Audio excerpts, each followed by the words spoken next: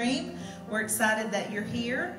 Um, I sure do hope that my friend Rupert um, is listening. This is a song that Rupert um, sang with our choir many years ago, and I love to hear him sing it. We won't do it justice, but um, I want you to listen close to the words of this song that says, We have one more river to cross.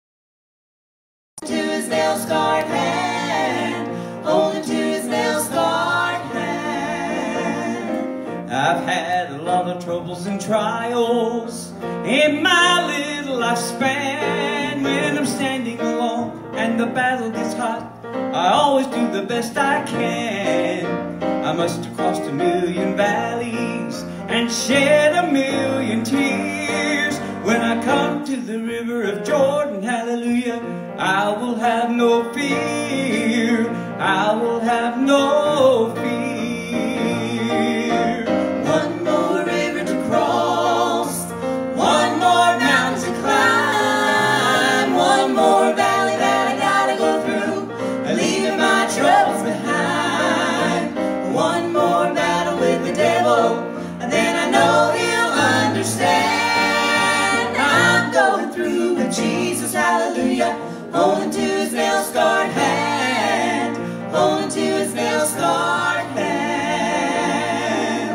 Been a lot of people talk about me since I walked this narrow way. This is just another little valley. I came through it when I prayed. I climbed a lot of high mountains and crossed a lot of little streams. But when I see old Jordan cold and dark, that'll be the last for me. That'll be the last for me.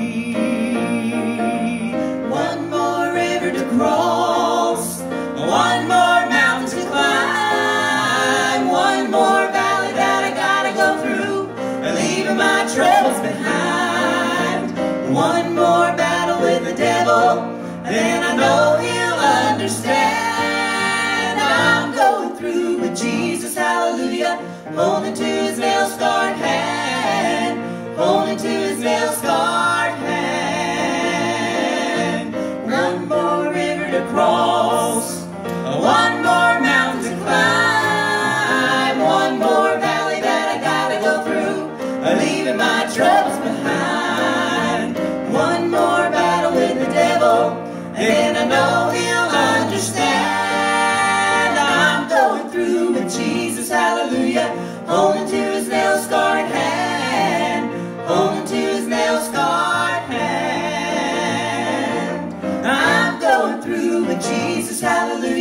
holding to his nail scarred hand, holding to his nail scarred hand. Well, amen. We'll get through all of this COVID 19 holding to his nail scarred hand. I, I, believe that with all of my heart. Um, I want to tell you that um, I was tremendously blessed this morning as I walked on the grounds and saw the yellow ribbons um, that you've came and tied here at our church. Um, this is our statement that with God's help and His will, we'll be home again. Um, this church is um, looks really strange to be here um, and not have your faces here in front of us, but I can tell you um, that His Holy Spirit is here, and we praise Him for that. So we just want you to know that we love you, and you know we thank our governor for allowing us to continue to do this. he had a very he had a webinar Friday morning that Ricky and I were privileged to be part of um, where he said, in fact, that he encouraged us if we had been having online church with 10 people or less, that he wanted us, that that was what God's people needed. So we are thankful for a governor who has put his faith and trust in God Um, and so we just are thankful that we're here with you this morning, and we just want to worship with you. Um, don't forget um, to send in your tithes and offerings. If you need that address, you can let some of us know. We'll get that to you. Drop by the church. The ribbon is on the front porch. Um, tie a ribbon anywhere you want on the campus. There's a great place to walk around our road, get some exercise and fresh air. That would be great. Um, before we go any further this morning, I want us to um, pray together the Lord's Prayer. So um, if you're there with your family, um, you can grab their hands. If, if you're there alone, just reach out, um, touch your Bible, um, uh, maybe a picture, just something. But even if you are alone, know that you're not because God is there with you. So if you would, let's just bow our heads and let's say the Lord's Prayer together. Our Father, who art in heaven, hallowed be thy name. Thy kingdom come, thy will be done on earth as it is in heaven. Give us this day our daily bread and forgive us our trespasses as we forgive those who trespass against us. Lead us not into temptation, oh, but deliver us from evil. For thine is the kingdom and the power and the glory forever and forever. Amen.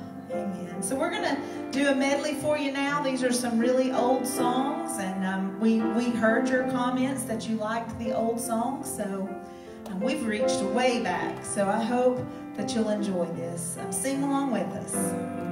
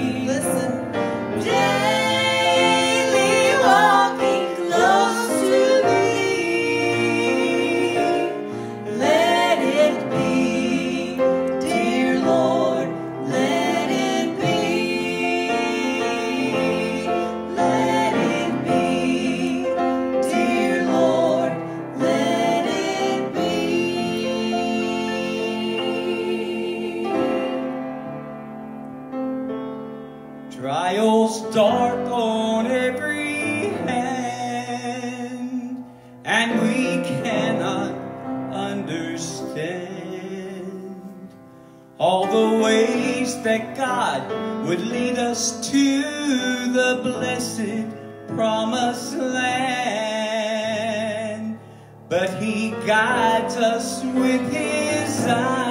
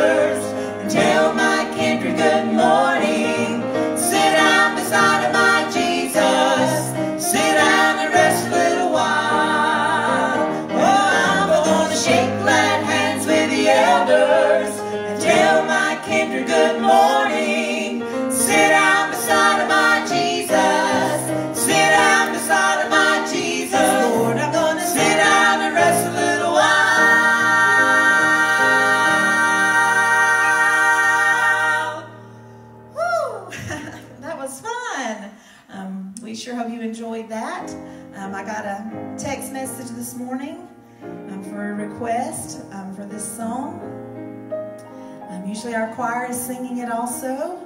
And so, boy, I miss my choir.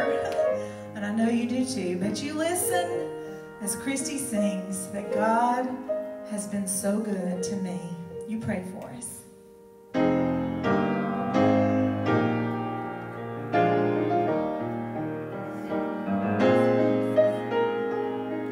There have been troubles.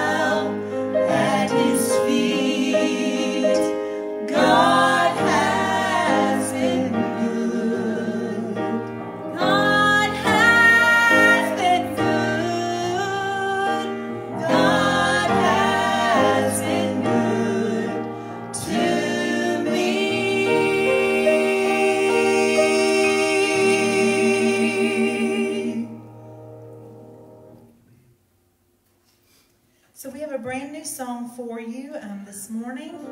Um, I just want you to listen to the words of this song. If it doesn't um, speak to you this morning, um, then as the old saying goes, your wood's wet. but you just listen. This um, is so true. We're not defeated.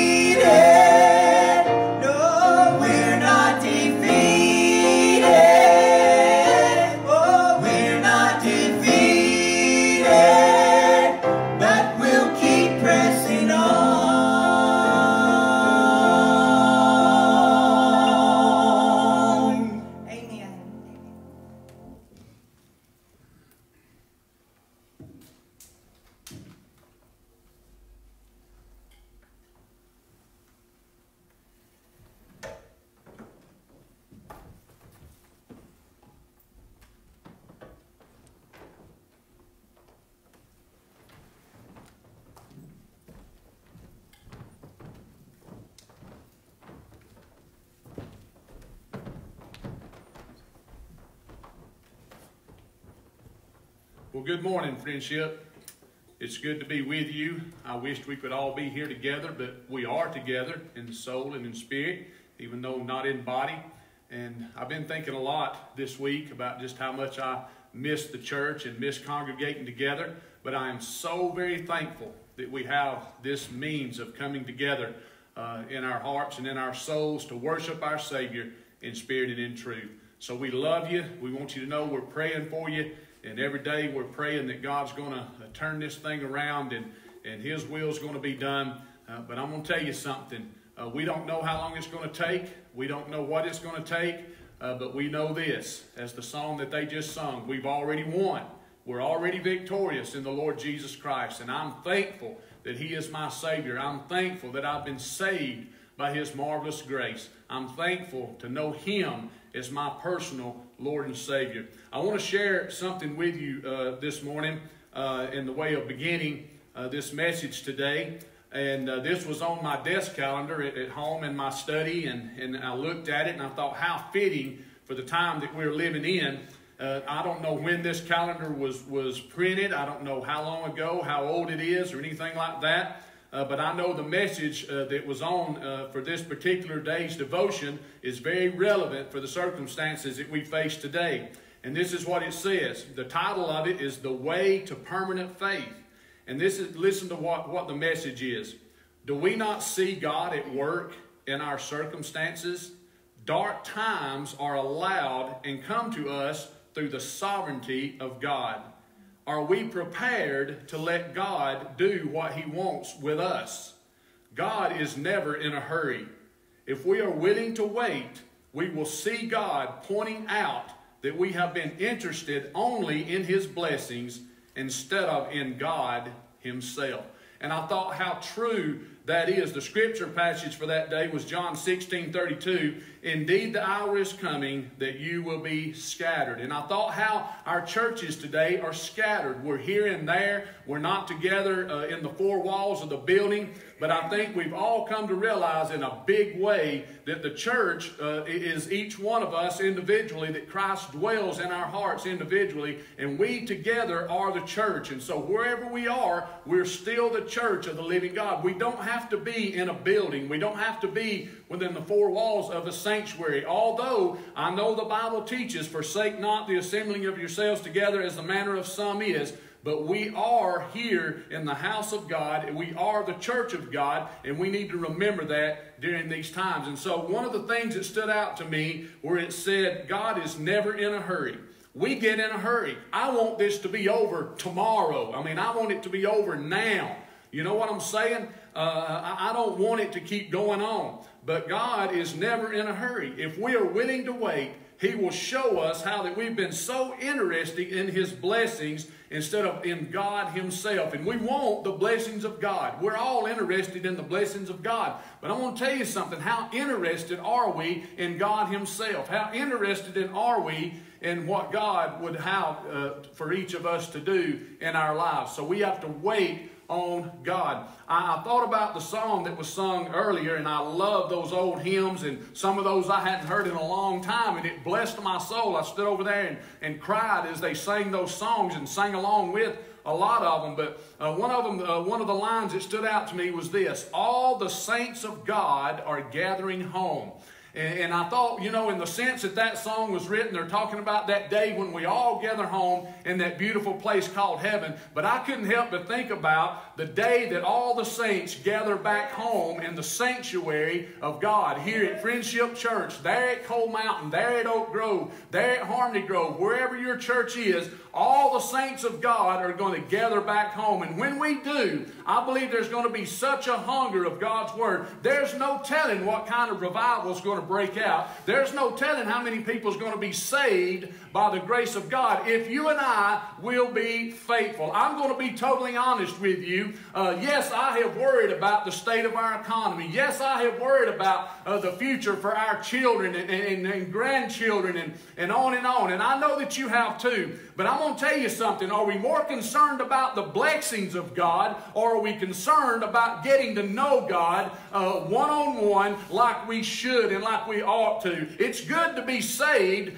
but we're justified at the moment of salvation. But I'm going to tell you something. We're in the period of time known as sanctification because we are saved, we are justified, but we're also sanctified, which means we continue to be saved. We are, it's a process. And so uh, that's the period that you and I are in now. And in that sanctification period is when we grow in our relationship with Jesus Christ. Now, uh, we talked a little bit about uh, last week about resurrection, and we're still fired up about resurrection because what else can you think about during Easter season than the resurrection? I heard the other day, read it as a matter of fact, someone posted, and uh, my wife, uh, or it was shared with me through an email. Uh, some reporter made the statement that, well, this is for the first time in the uh, history of the United States, there wasn't going to be an Easter. And I thought, what a ridiculous statement to make. No, we might not gather at the church house, but you can't stop Easter the same as you can't stop Christmas. Amen? Because uh, Christmas is not about Santa Claus and, and gift giving and all that. Christmas is about the birth of Jesus. Well, what is Easter about? The resurrection of Jesus Christ. The coronavirus has not stopped the resurrection of Jesus Christ. So why would we not celebrate Easter, right?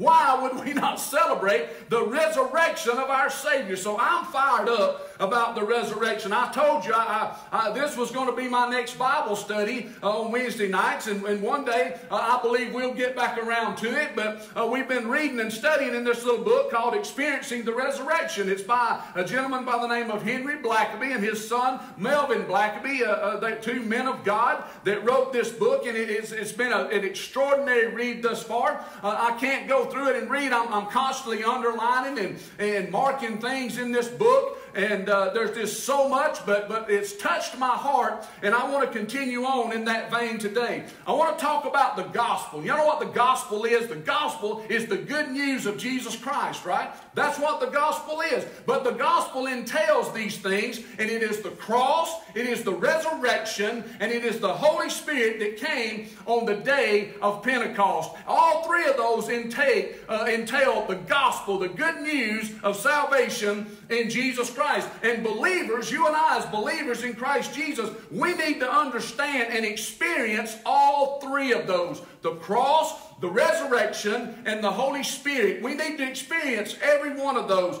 But listen to this without the resurrection, the cross is meaningless. Without the resurrection, the cross would be of no benefit, it would be of no value. Had Christ have simply died on the cross and there had been no resurrection, there would be no salvation, right? And so I want you to think about that. The cross without the resurrection is meaningless, okay?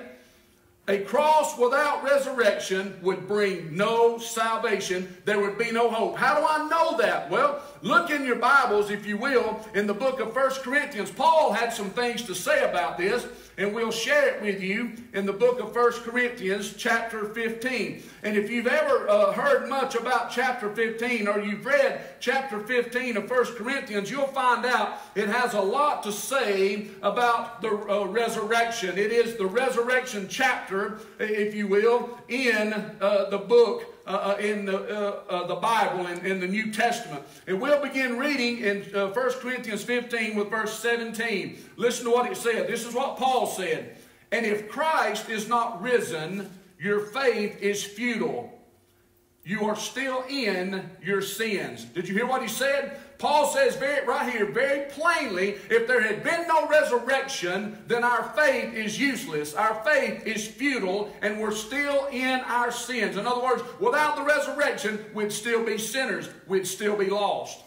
Then also, those who have fallen asleep in Christ have perished. Those who died with a faith in Christ, had there not been a resurrection, there'd be no hope for them as well. If in this life only, listen, don't miss this. Paul says, if in this life only we have hope in Christ, we are of all men most miserable. If this is it, Paul says, if there was no resurrection, if we had no hope of eternal life, if it was simply the cross and Christ had died and that was it, he said we would be of all men most miserable. I think Paul knew what he was talking about. And you know how Paul knew so well, and you know why he, he, he understood so well the resurrection of Jesus Christ? Because he had seen him and heard him for himself.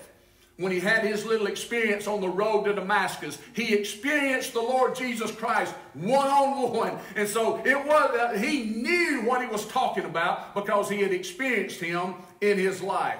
If you've been saved by the grace of God, you, our experience may not be like Paul's. Most of our experience is not anything like Paul's on the road to Damascus. But if we have experienced him in, in, in his resurrection, then we know salvation lies in the Son of God, in the Lord Jesus Christ. Now let's go on and read a few more verses. In, uh, look at verse 20. Uh, my, my Bible gives a little uh, heading here for this, this uh, series of verses. It says, The last enemy destroyed. The last enemy destroyed. But now Christ is risen from the dead and has become the first fruits of those who have fallen asleep. So he goes back, he refers back to those that had fallen asleep in Christ and had there been no resurrection, how they would have simply perished. But listen to what he said. Christ is risen from the dead and has become the first fruits of those who have fallen asleep. So there it is. Those who have died with their hope and faith in Christ, there's nothing to be concerned about. There's nothing to worry about because their hope is in Him. And because He is resurrected, they too will be resurrected. For since by man came death, by man also came the resurrection of the dead. So since by man, by man came death. Who's that man he's talking about? Adam when he sinned in the Garden of Eden. Man sinned and therefore death came into the world. But because of that man, Jesus Christ, the Son of God, listen to this. It says, by man also came the resurrection of the dead. For as in Adam all die, even so in Christ shall all be made alive. Even so in Christ. So in Adam we die, but in Christ, guess what? We are all made alive.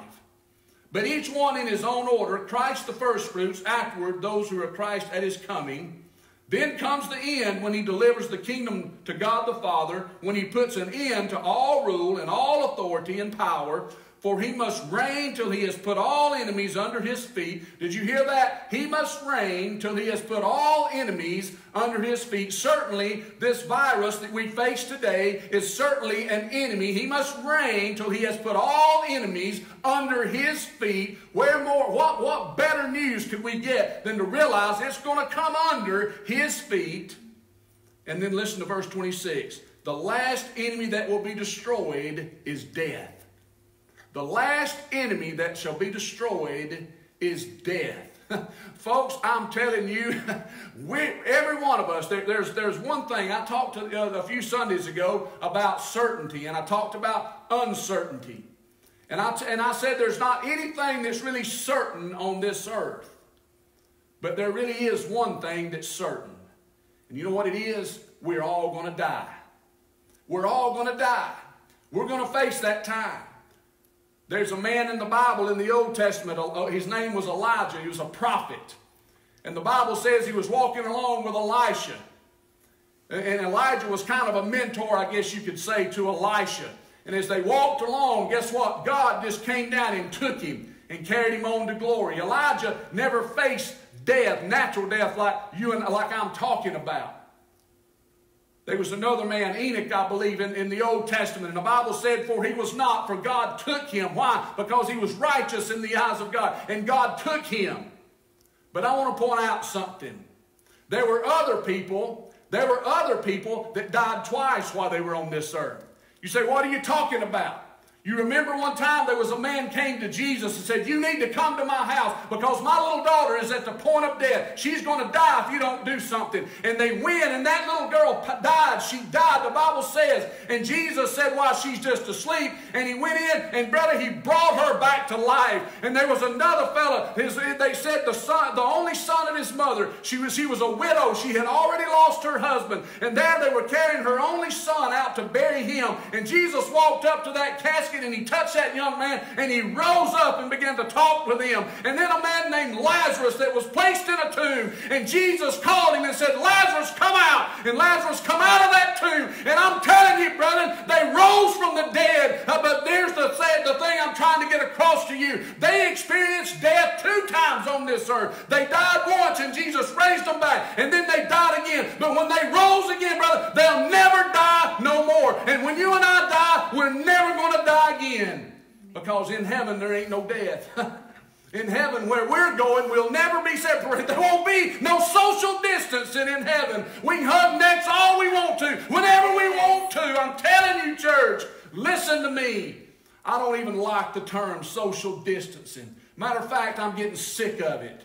Because here's what social distancing tells me. Social distancing tells, tells me I need to turn my back on you. But I'm telling you, we don't we can be six foot apart and still be social. We're here today. There's eight of us here, and we can still be social. Amen. We don't have to be social distance. Yes, physically distance. I understand the concept. I understand what they're trying to get across. And I'm trying to be careful. And I know you're trying to be careful because I don't want to get sick and I don't want to make anybody else sick, and you don't either. But listen to me. We don't have to be social distanced. We can still communicate. We can still talk. So why don't we call it physical distance? Yeah, we're physically distanced for a little while. But the day's coming, church, listen to me, when all the saints of God are going to gather back home and we'll tell the story. And I believe we'll tell it. You know, you know when I woke, the realization hit me today, this morning. I thought about this. There's a lot of people got up this morning, and it ain't any different than any other Sunday morning's ever been for them because they didn't give two thoughts or they didn't give a second thought. They didn't give one thought about going to church to begin with. Well before he ever heard anything about coronavirus. Many of you out there today, and this is going to sound harsh, but I've just got to be blunt this morning, brother. We live in different times, and I'm not here uh, to dilly-dally around and sugarcoat what God's given me. I'm here to say the truth, and I believe one of the big reasons we're in the condition we are today is because we simply have not took our relationship with our Savior as serious as we should have. We want the blessings, but we don't want to put the work in. We want the blessings, but we don't want to do what it takes to get there. We just want God to pour it out on us, just like we want the government just to give us something, give us something to make it all better. But I'm going to tell you something. There's Christians out there, maybe some of you, that ain't give a, a, thought in a long time in going to church well before the coronavirus ever hit. Well, wake up. Wake up. It's time. And when we get to come back together, every church in our little communities all around these North Georgia hills ought to be packed to the seams with God's people hungry to come and hear the Word of God, hungry to come and get back in the relationship that God's wanted all the time. Plain and simple. Plain and simple. That last enemy that's going to be destroyed uh, is dead. Listen. I'm going to die on this earth. I pointed out three individuals that died twice while they was here. But I'm definitely going to die one time unless I was to be blessed like the old prophet and, and God just simply come take me home. Wouldn't that be something? Uh, but I don't see really, uh, you know, it could happen. You know what might happen? Uh, I read the other day they, there was an earthquake uh, somewhere in Idaho. Just the week before, there was one in Utah. And I thought, earthquakes in diverse places, uh, the pestilence and the disease. I thought, God, what are you trying to tell us? But here's the thing. Irregardless, Irregardless, I'm a winner either way.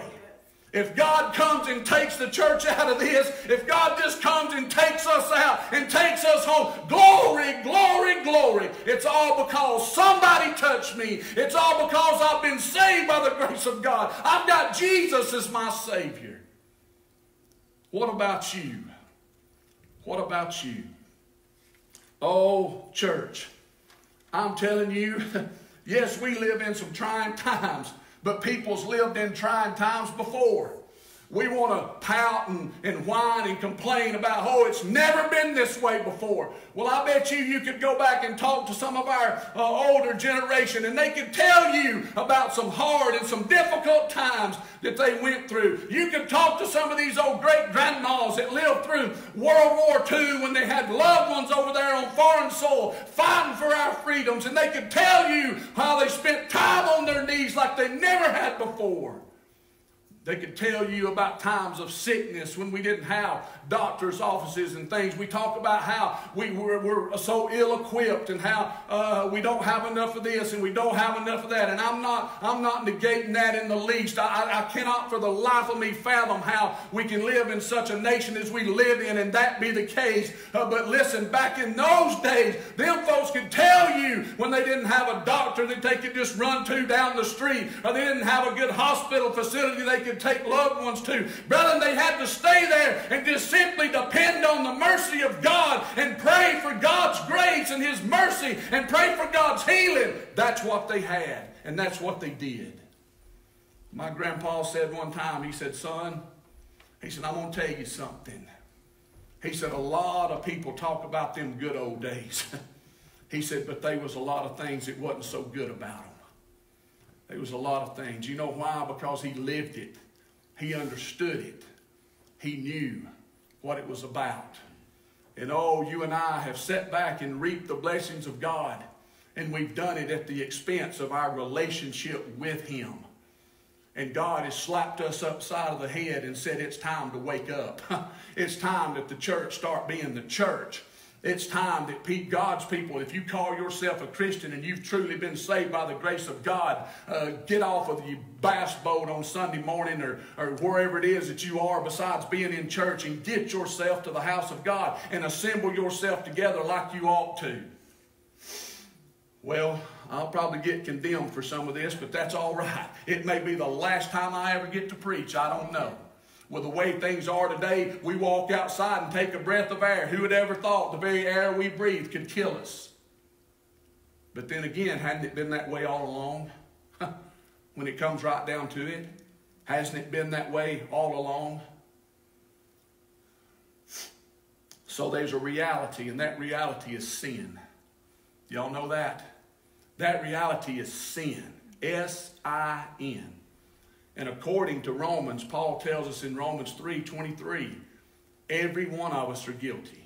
He said, For all have sinned and come short of the glory of God. He goes on further a few chapters over in, in, in, Romans 6 and 23, and he says, For the wages of sin is death. Now, how did Paul know that? That the wages of sin is death. Well, he was simply going back in Genesis 2:17 makes this statement. This is what God said to Adam and Eve in the garden. He said, "But of the tree of the knowledge of good and evil thou shalt not eat of it, for in the day that thou eatest thereof thou shalt surely die." And guess what? They didn't believe him. They went ahead and they ate that fruit and they died. You say, well, they didn't immediately fall dead. Oh, yes, they didn't immediately fall dead. That is true.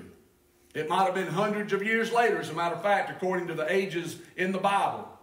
But the day came when it says, and he died. Adam died because of sin. You and I die because of sin. You and I experience things like we're experiencing right now because of sin. It's just that plain. It's just that simple. There ain't no need in pointing fingers and trying to place blame here, there, and the other because every one of us corporately bear a part of the blame. You say, oh, I don't like that preacher. You saying I helped bring this thing on. I'm saying every one of us are guilty of sin. And when the world fell because of sin, we fell right along with it. And the only hope we've got is in a man named Jesus. A man named Jesus. So here it is. God's nature is perfect. Did y'all know that? God's nature is perfect. And his nature is perfect love. How do I know? Look at First John. Look at 1 John chapter 4. I'm going to read verses 8 and verses 16.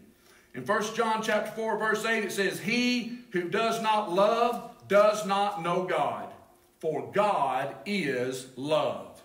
And verse 16 says, And we have known and believed the love that God has for us.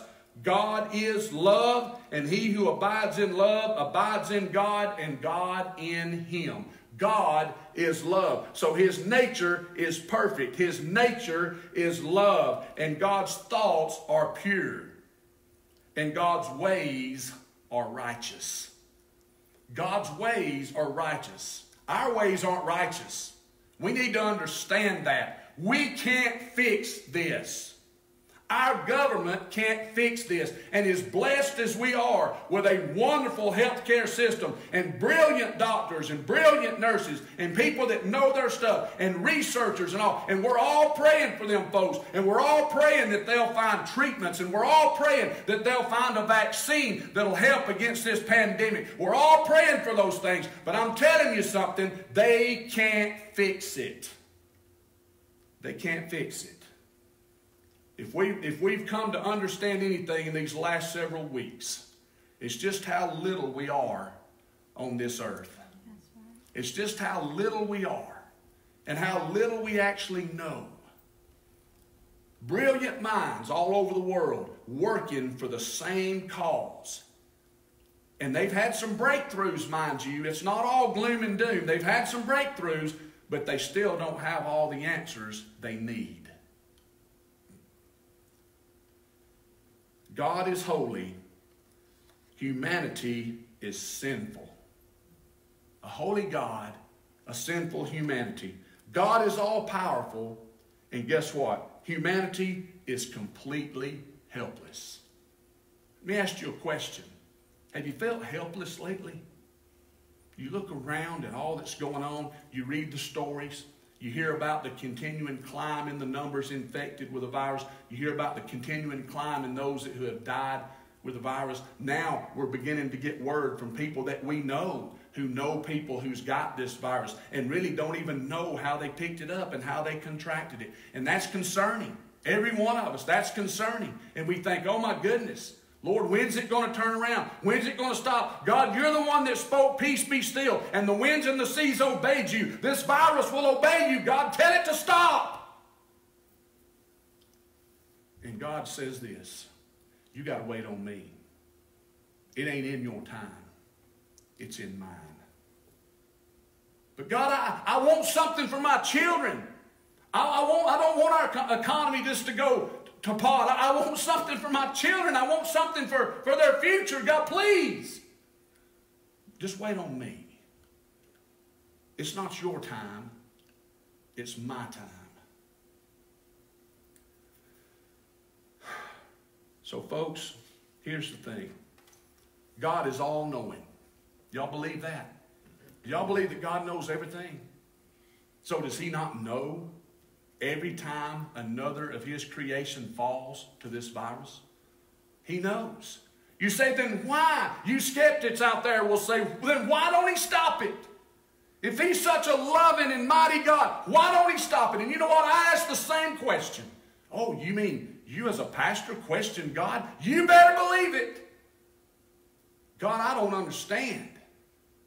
You know, we was rolling along. The church was, you know, the church, people's people's being saved. Our bus ministry is rocking and, and we're winning people to Christ, God. And, and some of those bus kids got saved. And, and Lord, we're, you know, things are happening. And now this, God, I don't understand. I don't get it. But I'll remind you of something. Something that's been on my heart a lot lately. Job, if you've ever read the book of Job, if you haven't, go read it. You've got time.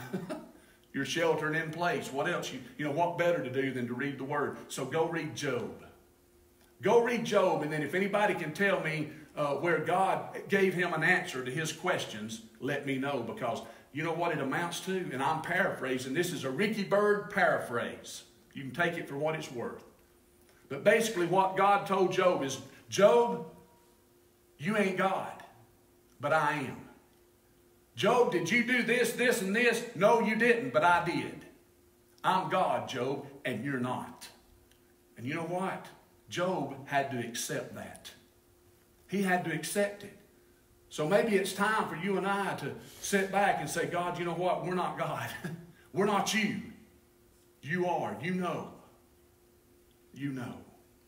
So God is all knowing, but guess what? Humanity, we're just ignorant for the most part, of spiritual things. Oh, sometimes we we have a glory fit and you know we, we think we we know what it's all about and we think we know how to worship and we think we've just finally hit the nail on the head and and then we realize, you know what? When it comes right down to it, we really don't have a clue. We just do the best we can. We just do the best we can. God is self existent. But guess what? Humanity, we're totally dependent. Listen, God's self existent. He don't need us. But we are totally, completely dependent upon God's mercy and His grace. You believe that? Totally, 100% dependent on God's mercy and God's grace. So what do we do? We pray. We pray and say, God, you're it. you're it. We, we pray, God, for our president. We pray for our president. And let me say this. If you're one, and, and, and, I, and oh, how guilty I've been in years past. How guilty I've been of just blasting our leaders for this, that, and the other. Just blasting them and letting them have it. Talking about them to anybody who'll listen. When I should have been praying all along. So if you're one of those that's just out there blasting, coming and going, get over yourself. Our president can't fix this any more than you can. He don't have the answers any more than you've got them. He needs prayer. Same as you and I need prayer. The cross.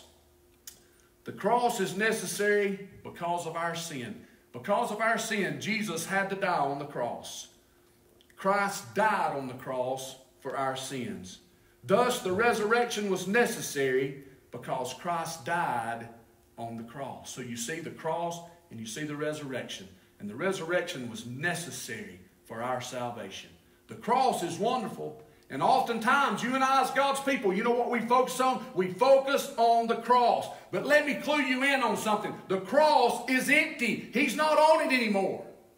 You see these little figurines sometimes, and it'll still show a body hanging on the cross. I'm not real fond of those because he's not on the cross anymore. The cross is empty, and it's good for us to look to the cross, and it's good to us to think about the foot of the cross. The ground is level, we say, at the foot of the cross, and that is so true. You can come to the foot of the cross, and you can find forgiveness because Christ died there. But if it was only the cross, we'd still be lost. We must have the resurrection. The most important thing to a Christian is the fact not that the cross is empty, but that the tomb they laid him in after he died on the cross is empty. That's the most important thing. The tomb is empty. The resurrection brought Pentecost. And you know what Pentecost brought? The Comforter, the Holy Spirit the Holy Ghost. We don't, we don't say much. We don't call it the Holy Ghost much anymore because we're afraid that's going to turn people off. But I like the Holy Ghost. I like to feel the Holy Ghost. I felt the Holy Ghost in the sanctuary of God's house today. I felt the Holy Ghost. But I don't have to be in this building to feel the Holy Ghost. You don't have to be in this building to feel the Holy Ghost. I hope you felt Him at home recently. and belief in the death, burial, and the resurrection. Notice that. All three. Belief in the death, Christ died for our sins, the burial, they placed him in that tomb, and the resurrection. He rose and came out of that tomb. Belief in the death, burial, and resurrection of Jesus Christ for our sins brings salvation to our lost souls and gives us eternal life. We will not perish. We will not perish. You say, oh, preacher, but there's Christians that's dying from this virus. I'd be foolish to say otherwise. And you say, well, then how can that be? If the Bible says He's our protector, if the Bible in, Psalm 91 tells us that it won't come anywhere near us, then how can it be that Christians are dying? Listen, we have to understand the context you and I live in is a sin fallen world. And things like coronavirus are a part of that.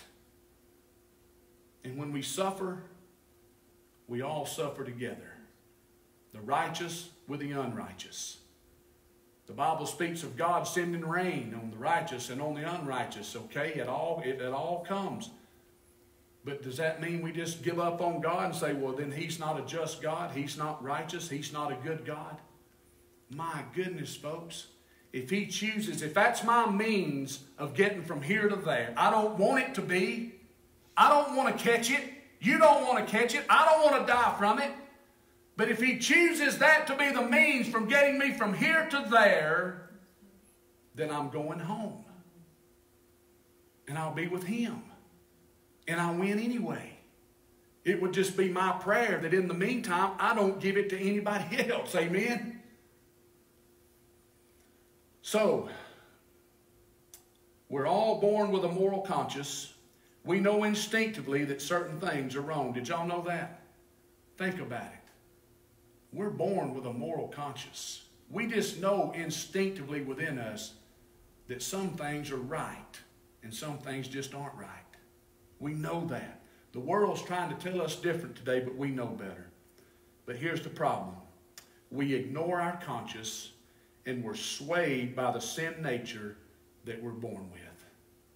That sin nature pulls and it tugs and it causes us to ignore our conscience. It causes us to ignore what we know to be right.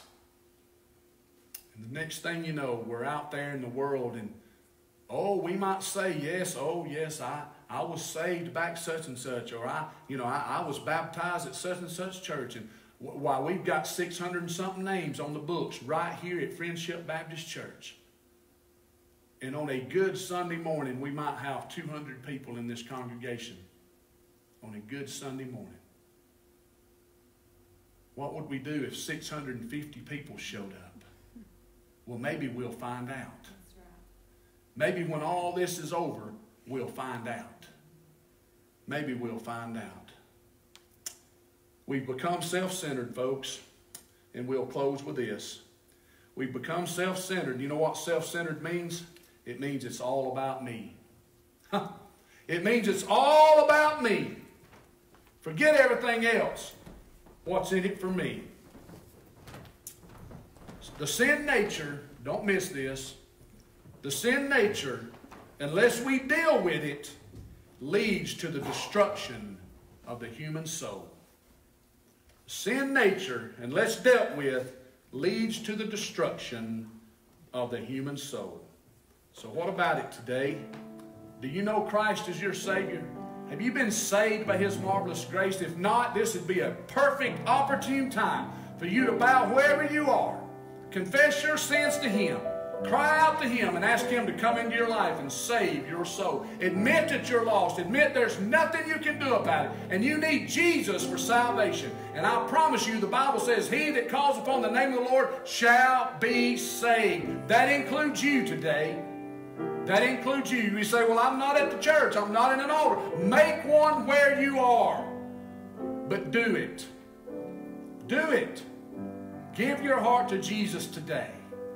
If you're one of those Christians who before all of this still, you know, you, you, you even then you weren't given a second thought to come into God's house on Sunday morning, I want you to seriously consider changing that and praying and calling out to God and asking Him to give you an opportunity. Say, God, if you'll give me that opportunity, Lord, if you'll open them doors back open and we can all gather together back again, God, I'll be there. I'll be there. Would you make that commitment today? Would you do that? While they come and sing this song of invitation, would you give your heart and soul to Jesus Christ? Would you?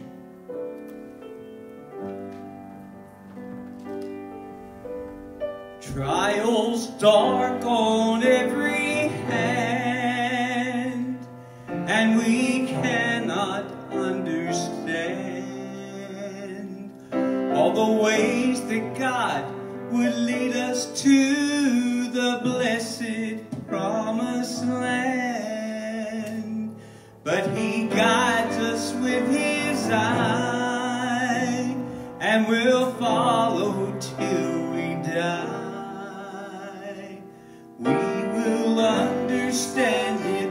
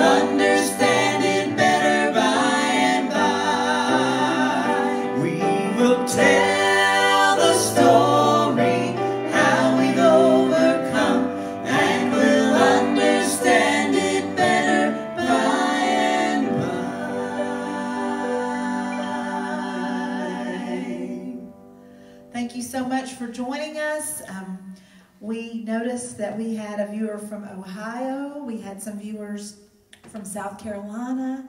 And we just praise God for that. May He be glorified. And we look forward to seeing you next Sunday.